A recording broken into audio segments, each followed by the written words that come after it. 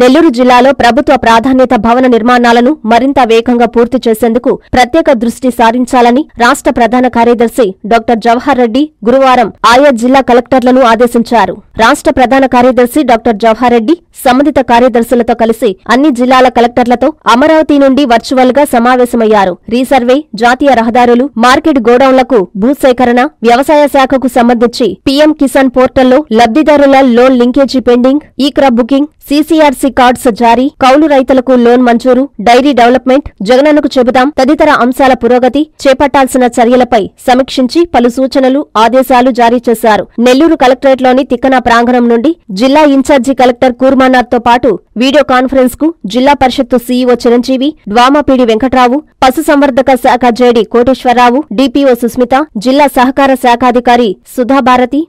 land records AD Hanuman Prasad Panchayati Raj SC Ashok Kumar తదితరులు పాల్గొన్నారు